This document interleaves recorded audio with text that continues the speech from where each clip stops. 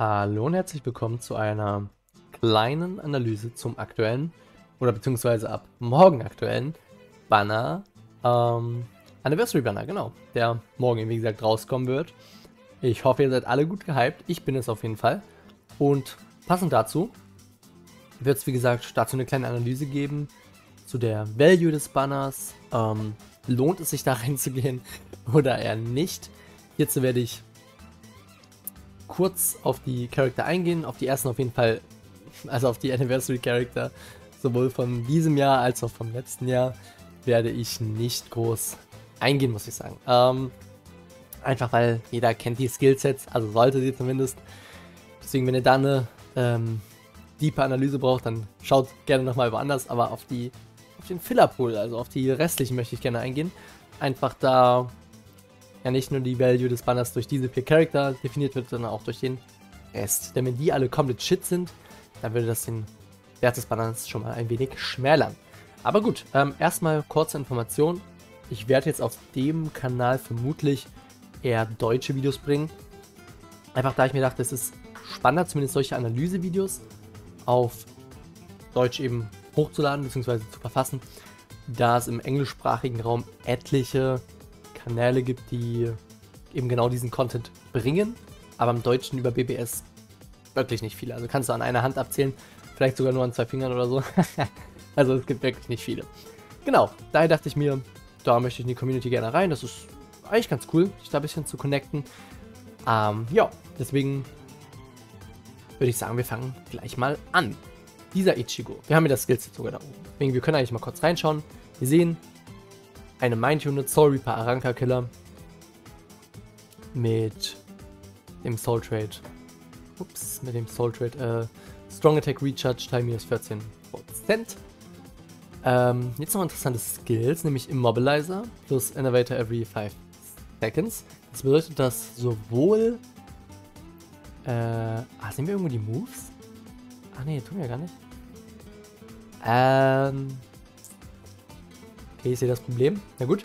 Dass die Moves jedenfalls Weakening als auch Paralyze, also die beiden äh, Statuseffekte, aller 5 Sekunden auf alle Gegner auf dem Feld angewendet werden können, mit einer Wahrscheinlichkeit von 12%, egal ob ihr in der Range seid oder nicht. Das ist sehr, sehr cool, vor allem für den Skill, der später kommt. Ähm, genau, dann haben wir noch Havoc als Nate Skill, das heißt, er hat einfach mehr Range auf den Strong, Attack, äh, Strong Attacks, genau äh, hier Attainable Skills, die er noch bekommen wird, wenn man ihn hochstuft. Bruiser 20%, also mehr Normal Attack. Berserker 40%, gesamter Damage und 40% eben nach oben. Bombardment, ähm, das bedeutet, dass die Soul Bomb, beziehungsweise die Hits der Soul Bomb gedoubled werden. Also er macht einfach doppelten Damage, was krass ist. Dann hat er noch Frenzy plus 1, Debilitator 5 Seconds. Äh, das bedeutet, dass die Status Elements, also die Status-Effekte 5 Sekunden länger als normal am Gegner haften oder wirken. Frenzy plus 1 natürlich einfach, dass die Strong Attack Hits gedoubled werden, heißt einfach doppelter Damage. Sharpshooter ist sehr gut, weil das ist, äh, das ignoriert die Resistance gegen Range äh, Attacks von Enemies, heißt er ist für Guild Quest unglaublich gut. Hit Hidden Enemies, äh, 100% Chan äh, Chance, das ist auch ja, stabiler Skill. Macht paar Quests einfacher und erträglicher. Dann Shared Complete Status Immunity. Das ist auch sehr interessant, denn das bedeutet, sobald er beispielsweise in Guild Quest auf ein Feld trifft, äh, tritt, was er, ähm, was er, wer ist denn? Was ein Statuseffekt bei ihm auslöst, zum Beispiel Gift. Der wird natürlich ignoriert von ihm, aber nicht nur wird es ignoriert, sondern auch auf Gegner übertragen, dass diese für 10 Sekunden, äh, auf Quatsch, auf auf Mitspieler übertragen, dass diese für ähm, 10 Sekunden auch immun sind gegen diesen Skill, was Guildquest, äh, also was ihn extrem krass für Guildquest macht, genau. Dann der absolut crazy Skill Status Elements Build Spiritual Pressure Boost 80%. Äh, das heißt, sobald er einen Statuseffekt auslöst, macht er einfach 80% mehr Damage. Das ist, äh, ja, das ist cool, nimmt man mit. Dann zu ihm. So Urio, der andere neue Anniversary Char, der bei ihm sieht so aus, dass er einen ganz neuen Skill hat, nämlich diese. Äh, ah, erstmal, ja, der Killer natürlich erstmal, ne? Wir müssen ja schon der Reihenfolge nach sein. Also, er ist Human Quincy. Äh, das möchte ich übrigens kurz sagen. Ich finde es sehr schade, dass dieser Ichigo kein Quincy ist, weil Das Design hätte es hergegeben, aber na gut, egal. Jedenfalls hier, wir haben Urio, Human Quincy und Killer, äh, Aranka und No Affiliation, was ja sehr gut ist. Ähm, aber die Skills sind noch viel, viel, viel besser. Genau, da haben wir es. Der Gorsch-Effekt. Ähm, die Gorsch, also Gorsch, das ist so eine, so eine, äh, die Gorsch ist so eine Bar, so eine, so eine, wie heißt denn das? Leiste, genau. Die ihm angezeigt wird und die füllt sich immer mehr, je mehr Damage er macht. Äh, egal womit. Und wenn die gefüllt ist, hat er 100% Berserker, 50% äh, Damage Reduction und, wo ist es? Ähm, 30% Strong Attack Recharge plus. Das ist, äh, beziehungsweise Minus. Das ist so fucking broken. Äh, wir müssen mal schauen, wie schnell sich diese Leiste tatsächlich in der Praxis füllt. Aber an sich ist das wirklich äh, sehr krass. Also das ist sehr krass. Aber dann noch die normalen Skills. Er hat Sprinter plus 2, Long Stride heißt er fliegt über die Map. Das ist super cool. Ähm, Bruiser plus 20%, Berserker 20%, Devastation 40%. Ja, also alles ein bisschen geboostet. Strong Attack ein bisschen geboostet. Ähm, Normal Attack. Und ja, noch die Range 20%. Und die, die ähm, Soul Bomb, die sehr geil ist, weil die ist ein Debuff, also die, die ist absolut crazy. Dann Debilitator plus 5 Seconds, heißt die Elements. Er hat übrigens die besten im Spiel, die besten Status-Effekte, nämlich ähm, Weakening und Drain. Heißt, der geht niemals down, wirklich niemals. Dann Frenzy plus 2, dadurch werden die auch noch viel öfter ausgelöst. Und dann nochmal durch den Skill, genau. Increase Status Element Chance against Power Attribute Enemies. 10%. Ähm, also der wird die ganze Zeit die Status-Effekte hitten und ich sag's wie es ist, der wird nie runtergehen. Also der, wenn man, wenn man ihn down bekommt, dann weiß ich auch nicht, äh, dann ist irgendwas falsch. Weiterhin gibt er seinem Team einen kleinen Boost um 20%, beziehungsweise den Speed Attribute Charaktern. Ja, also Urio in der Kurzfassung ist ultra broken. Äh, ich hoffe, ihr kriegt ihn. Saugeil. Ultra gut für Guild Quest, würde ich behaupten. Ähm, beziehungsweise je nachdem, wie schnell sich diese Gange-Bar füllt. Mal schauen. Also die beiden Must-Haves, ultra geile Charakter. Wahrscheinlich die besten im Game. Eisen, auf den will ich jetzt nicht groß eingehen. Ich denke, kennt ihr alle Frenzy plus 2, beste Status Elements, beste zweite Strong Attack, genau wie der neue Ichigo übrigens. Ähm, ultra geiles Kit. Ultra geile Skills, also perfekter Char. Top. Ich, mehr sage ich dazu auch nicht. Also, wenn ihr ihn bekommt, dann herzlichen Glückwunsch. Ähm, ich habe ihn 5 out of 5, deswegen ich brauche ihn nicht. Also, nur für fürs Rerollen vom letzten Effekt bräuchte ich den, aber ansonsten wenn ich ihn nicht kriege, bin ich auch, äh, ja, nicht traurig. Alles gut. Also wir haben hier die, wirklich die besten drei Chars im Game aktuell. Das ist äh, absolut geisteskrank. Dann haben wir noch Artbook Ichigo, welcher auch super, super gut ist. Ich würde nicht sagen Top 4, aber einer der besten Charakter auch im Game. Also richtig, richtig gut. Ähm, auf ihn würde ich jetzt auch nicht groß eingehen. Er fliegt auch über die Map, genau wie Urio. Er hat Sprinter plus 2 und Longstride. Bei Flurry plus 1. Ähm, überlege gerade, hat er noch. Genau, Bombardment hat er auch. Also sehr geil. Die Ulti wird gedoppelt. Der ist einfach eine Broken Unit. Will man haben. Ultra, ultra geil. Wenn ihr sie habt, herzlichen Glückwunsch. Wenn nicht, dann viel Glück, dass ihr sie morgen bekommt. Aber jetzt gehen wir auf den Pillar Pull ein. Wie gesagt, für manche wahrscheinlich der uninteressante Part, aber darf man nicht unterschätzen, weil es gibt eben nicht nur diese vier Chars hier drin, sondern es gibt zwölf. Und deswegen kann es auch sein, dass man ganz großes Pech hat, was wir natürlich nicht hoffen, und keinen von denen zieht. Das wieder hoffen wir nicht. Ich bete dafür, dass jeder von euch ähm, am besten alle bekommt. Wäre super. Aber angenommen, wir kriegen nur die anderen. Ist dann totaler Chef oder kann man sagen, ja, okay, natürlich im Vergleich, also ich kann nicht gleich sagen, die sind alle im Vergleich zu denen hier oben zu den vier Shit. Aber das ist ja kein Wunder, weil das sind die besten Charts im Spiel somit. Daher schauen wir mal, ob sie valuable sind oder eher nicht. Beginnend mit Rose. Ähm, wo ist es denn? So, der Rose, der Arena Rose, der ist ein Normal Attack Damage Character. Ähm, Affiliation Sorry Pound Hollow. Und er hat den Sorry Per Killer, den besten im Spiel übrigens. Ähm, genau, das hatte ich jetzt ganz vergessen zu sagen. Die beiden hier haben, also Eisen und Artbook Ichigo, beide Sorry Per Killer. Artbook Ichigo noch zusätzlich No Affiliation und Eisen Captain Killer. Also auch super, super gut. Aber kein Wunder, ne? Ist klar, denke ich. Dann zum Skillset von Rose. Er hat Berserker plus 30%, Bruiser 20%, Debilitator 5 Seconds, Devastation. Ähm, also kurz zur Erklärung. Berserker, wie gesagt, gesamter Damage wird um 30% angehoben. Bruiser, der Normal Attack Damage, also dieses große Ding hier, wird angehoben um 20%. Debilitator, die, ähm, die Statuseffekte dauern 5 Sekunden oder halten 5 Sekunden länger auf Gegnern. Devastation, die Ulti wird ein bisschen geboostet, also um 20% wahrscheinlich. Äh, Flurry, das heißt einfach, dass die Normal Attack Damage Hits gedoubled werden, heißt ein Hit wird zu 2 oder 2 werden zu 4. Ähm, was heißt halt 100, plus 100% bei Normal Attacks, also sauguter Skill, aber muss auch bei heutzutage bei jedem drauf sein. Poise erschreckt nicht zurück, wenn er angegriffen wird, also er wird gehittet und kann trotzdem angreifen, er hat keinen Hitstun oder sowas, das ist auch super wichtig für Guild Quest beispielsweise.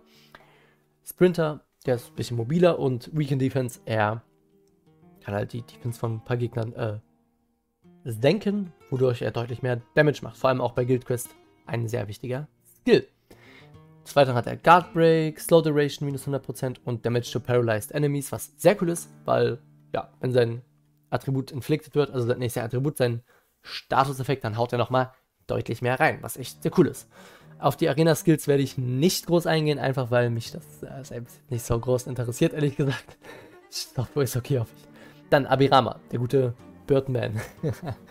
ähm, der ist ein ultra brutales ähm, wer ist denn?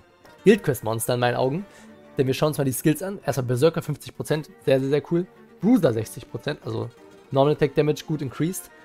Flurry plus 1, muss natürlich sein, ist auch eine Normal Attack Unit. Ist übrigens ein Aranka und ein Espada Killer. Also, er ist ein Aranka und killt Espadas. So, ne? Gut. Ähm, sein Killer-Effekt ist um 50% geboostet in Guild Quests und Ranged Attack um 30% in Guild Quests. Also der ist wirklich absolute Guild Quest Maschine. Falls ihr bei Espada Ranged Guild Quest ähm, Probleme habt, dann hoffe ich für euch, ihr kriegt ihn. Ich habe ihn nicht, aber ich hätte ihn auch sehr gerne. Denn er, also er klingt rein vom Skillset absolut abgefuckt. Also richtig, richtig gut.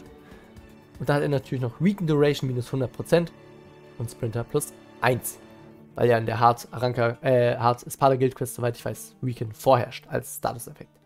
Gut, gehen wir weiter zu Momo. Die ist ein Soul Reaper, äh, Hard-Attribut und ein Aranka-Killer. Ähm, ja, sie hat FSD, also Full Stamina Damage, was mit der beste Skill im Spiel ist. Da auch dadurch alle Attacken, wenn sie volles Leben hat, äh, einfach 20% mehr Damage machen. Debilitator, äh, 2 Seconds, Devastation, Frenzy, Havoc. Havoc erhöht die Range, ist auch ein ultra geiler Skill. Also erhöht die Range von ähm, Strong Attacks, den Radius so. Das ist super, super cool. Mind Droplet, das ist sehr wichtig, denn Droplets solltet ihr farmen oder, also falls ihr die nicht habt, falls ihr immer Probleme habt bei Droplets, dann braucht ihr genauso einen Charakter wie sie, denn sie ermöglicht es euch, dass ihr in der aktuell übrigens geboosteten Droplet Zone, die ihr unbedingt spielen solltet, wenn ihr jetzt nicht unbedingt gestern angefangen habt und lieber Orbs für morgen farmt, das ist natürlich ein, anderes Ding, aber solltet ihr das unbedingt spielen. Ähm, mal, glaube ich, morgen der die Raid getrippelt wird, also dass man Droplet kriegt, äh, kriegt. Und das lohnt sich auf jeden Fall in meinen Augen. Des Weiteren haben wir Multibarrier als Skill, was bedeutet, sie hat am Anfang einer Runde Hits sozusagen free, kann die einstecken. Das ist auch ein echt cooler Skill. Dann Poise, sie steckt nicht zurück, äh, sie schreckt nicht zurück, hatte ich ja schon erklärt. Des Weiteren 100% Chance to hit Dodging Arankas, das ist auch so ein Skill, das ähm, Charakter dodgen können mit einer gewissen Wahrscheinlichkeit und den umgeht sie dann halt einfach. Guard Break und Medic hat sie auch noch. Also ja, Momo würde ich sagen, ist ein echt stabiler Char, vor allem wegen Droplet. Äh, relativ große Value. Sollte man auch nicht enttäuscht sein, wenn man sie kriegt. Ich habe sie auch nicht. So, da haben wir noch End of the Month Luna Matsu. Moto kam im Januar raus, am 31. Genau, also halt Ende Januar. Und sie habe ich auch noch nie gespielt, weil ich sie einfach nicht besitze. Ähm, sie hat Berserker, Damage inflicted at äh, 20%, was sehr, sehr, sehr cool ist. Wie gesagt, mit der beste Skill im Spiel. Devastation, Debilitator, Frenzy, Guard Break, Havoc, plus 20% mehr Range, immer cool. Und jetzt noch ein sehr cooler Skill, hat der neue äh, Uryu auch, aber noch ein bisschen krasser. Nämlich das gegen Technik Aranka ähm, die Wahrscheinlichkeit höher ist, dass der Statuseffekt ausgelöst wird, was wirklich sehr, sehr cool ist. Darf man nicht unterschätzen. Hätte das zum Beispiel der gute Anniversary Eisen hier gehabt. Auch noch. Also, dass er noch eine höhere Wahrscheinlichkeit hat, das Attribut zu inflikten. Das wäre, also dann wäre der noch brokener. Also das wäre wirklich crazy so. Aber ja, der ist auch schon so gut genug. Nur mit ihr mal das ins Verhältnis setzen könnt, äh, dass es echt ein guter Skill ist. Okay, Innate Skills, das hat sie da. Ähm, ja, wieder 100% Chance to hit Dodging Ar äh, Arankas, also die werden immer gehittet, auch wenn die den Skill zum Ausweichen haben. Und ähnlich wie der Ichigo kann sie aller 5 Sekunden auf dem ganzen Feld äh, Paralysis inflikten. Also mit einer Wahrscheinlichkeit von 12% für nur 2 Sekunden. Aber das ist trotzdem ein cooler Skill.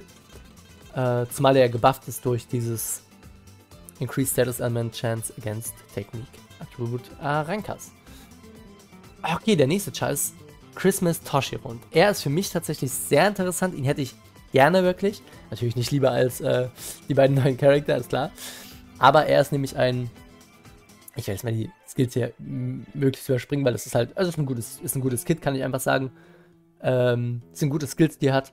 Aber interessant an ihm ist das hier. Technik Linkslot Potion plus 5. Fürs Farmen ist der absolut wichtig. Wer Linkslots braucht, der braucht auch Linkslot Character, wenn man zumindest effizient fahren möchte. Und ich persönlich habe zum Beispiel noch keinen Power äh, Linkslot Character. Hat sich einfach noch nicht ergeben. Von, anderen, von allen anderen Attributen habe ich einen. Oder sogar mehrere. Aber hier noch keinen. Daher hätte ich ihn wirklich gerne.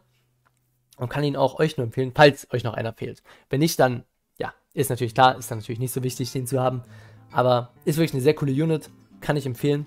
Und bei Nate Skills möchte ich mal noch kurz schauen. Mhm. Wieder dieser Skill, dass aller 5 Sekunden Freeze inflicted werden kann. Damage to Frozen Enemies, sehr cool. Ja, doch. Also ist eine, ist eine wirklich gute Unit. Die, die haut auch gut rein, glaube ich. Ähm, lohnt sich. Wirklich. So, jetzt eine Unit, die mag ich wirklich sehr gerne. Chat, Human Affiliation, Hard Attribut und Soul Reaper Killer. Der beste Killer im Game aktuell. Äh, oder was heißt aktuell? Das wird auch also sehr schwierig äh, zu toppen sein. Aber gut. Ähm, er hat erstmal einen Berserker von 40%, Bruiser von 50%, also Normal Attacks hauen gut rein. Ist natürlich auch ein Charakter für, also ist ein Net-Charakter. Enhancer 10%, das ist sehr interessant. Denn das heißt, dass seine zweite Strong Attack, also die boostet erstmal die Gegner, heißt, die machen, ich glaube, ein Drittel mehr Damage. Ähm, nicht die, sag mal die Gegner, die Teammates, sorry, Teammates natürlich. Die machen ein Drittel mehr Damage. Und durch Enhancer wird diese Dauer, die das eben dauert, um 10%, äh, nee, 10%, 10 Sekunden erhöht, was wirklich ein sehr cooler Skill ist. Also über ihn auch nicht ärgern, der ist echt eine super coole Unit.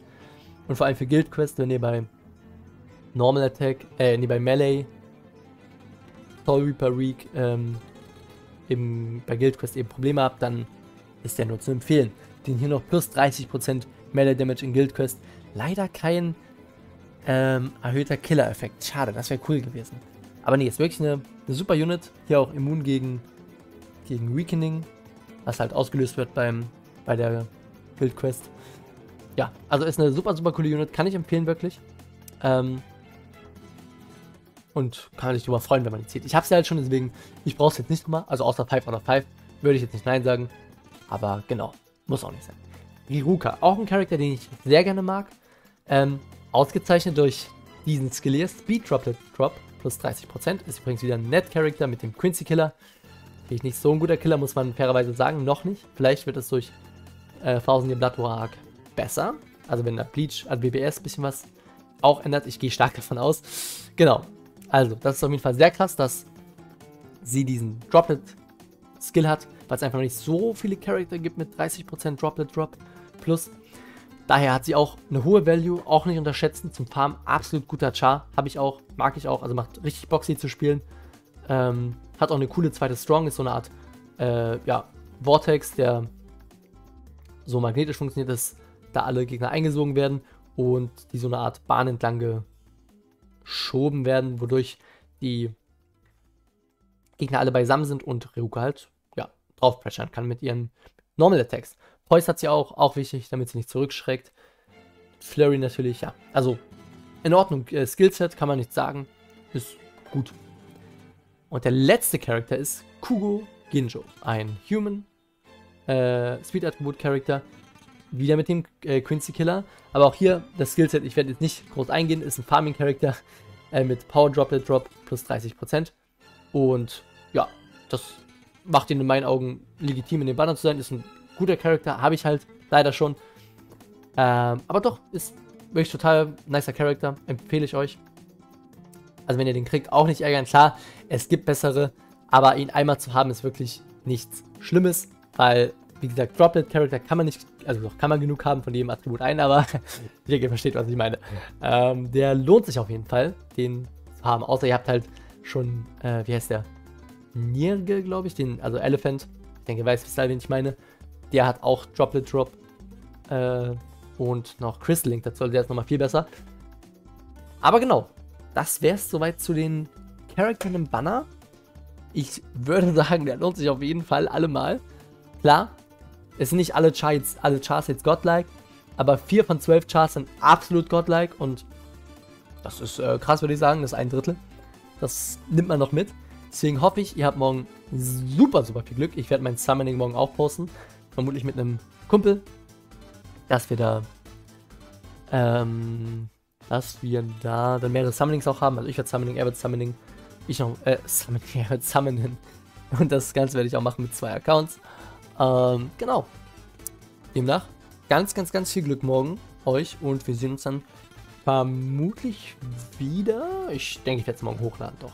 Ähm, ich kann auch sagen, ich habe noch zwei Summonings tatsächlich äh, eigentlich im Petto. Nämlich einmal die Christmas Witches, also Burn the Witch Banner. Den habe ich auch noch nicht hochgeladen. Und, also offensichtlich. und noch einen, ich habe vergessen, ehrlich gesagt, welcher war das denn?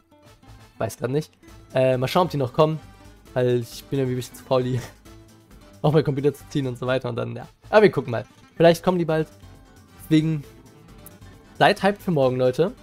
Und holt euch die neuen Anniversary Charts. Also dann, stay tuned. Bis